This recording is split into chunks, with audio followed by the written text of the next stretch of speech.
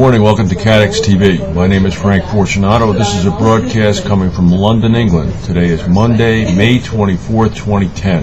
It's 11:30 a.m. Eastern Daylight Time in the U.S. It's 4:30 p.m. over here. We'll go to our news and then uh, we'll end with a little bit of a commentary.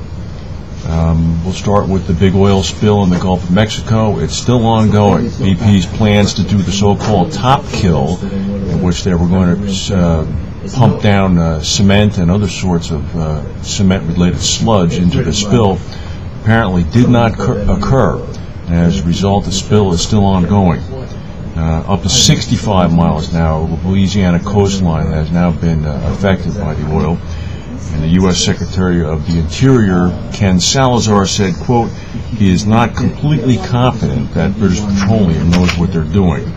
Uh, so we still have an ongoing big problem with that. In, in, Jamaica, the island of Jamaica, an independent sovereign state, a, a state of emergency has been declared. A masked gunmen defending a reputed drug lord who's been sought by the United States government have uh, burned a police station to the ground, traded gunfire with the army, and barricaded a section of Kingston. Uh, it's a virtual fortress, apparently. Uh, it's a stronghold of somebody uh, named Christopher Coke, of all names. Um, several people have been reported to have been killed, as many as 25 civilians so far. Uh, two police have been killed. Um, the Prime Minister of Jamaica is involved with this, and it's possible, although not likely, that uh, other uh, military action will be contemplated.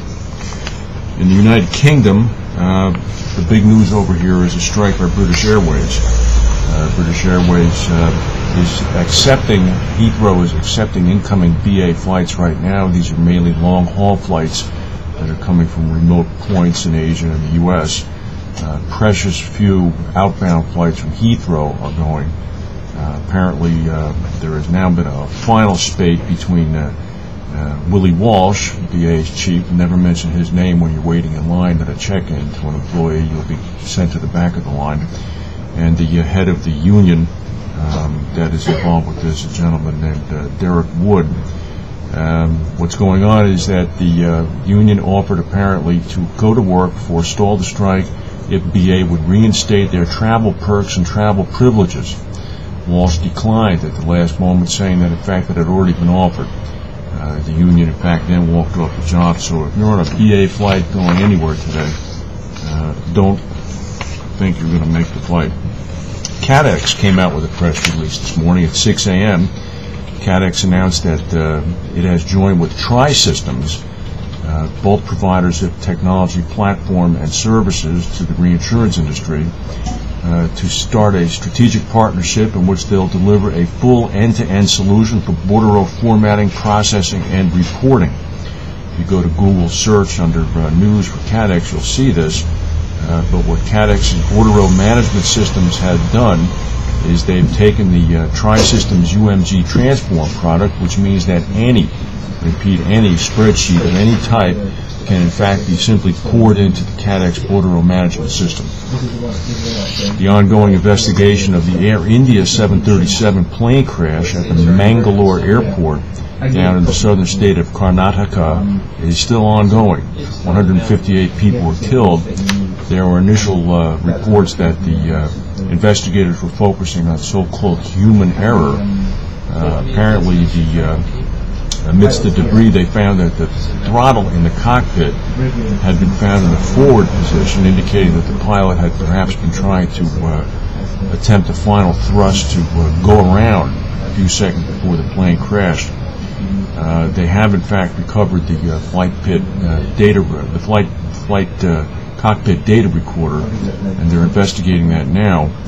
Um, but it still is a, uh, a, troubling situation. Obviously, with a very late model Boeing 737, Air India has not had a crash in about nine years. Uh, it could be considered that maybe the fact that the uh, runway was on the side of a mountain uh, might have something to do with it, but we'll have to see more information before coming.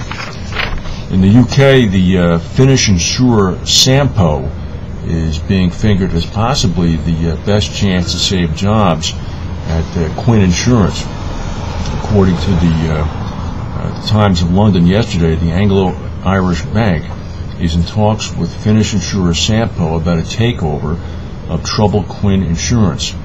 Anglo-Irish wants a partner with no current Irish insurance to help avoid job losses. Uh, Sampo owns the IF P&C Insurance Company, the biggest P&C insurer in the Nordic region, as well as uh, Mandatum Life, which is a, a life insurer in Finland. So, um, if in fact the Finns come in and take a stake in the Irish insurance market, then uh, presumably few jobs, if any, would be lost in Ireland. Yesterday in the UK, it was uh, a cloudless day in London. There was not a cloud in the sky. It was a blue sky throughout. Temperature was about 80 degrees.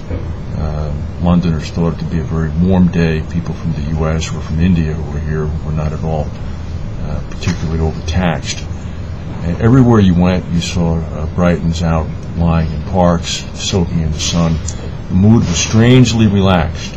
I had arrived here yesterday morning and found myself wandering through the city, and one thing struck me. There was a sense of uh, a type of calmness, and it didn't seem to be the type of populace that just uh, a scant eight days before had thrown a government out of office that had been in power for the last 14 years. A country that had entrusted its future to two relatively untested, uh, just past 40 year old people who are now running the country. But yet there was a very, very strange sense of quiet and calmness and relief, almost as if it was a feeling of a, uh, a type of calm before the storm. This morning, the lead news on the BBC One, the lead news on the uh, front page of the newspapers, were the uh, reactions of civil servants who are now about to endure a six billion dollar uh, cut of jobs, benefits, pension benefits, health care benefits, and the like. The axe is beginning to fall here. It's possible that yesterday was just a relaxing minute or two of uh, the last days before the axe comes. And as we've talked about, uh, this type of sequence, domino effect or not, is something that the rest of the world is watching to make sure that it doesn't uh, happen all right down the line through the rest of Europe and into the U.S. We'll keep reporting from London. If we have any breaking news, if I can find anybody of interest to interview, we'll grab them and bring them on, and uh, we'll see you later in the day probably. Thanks for watching.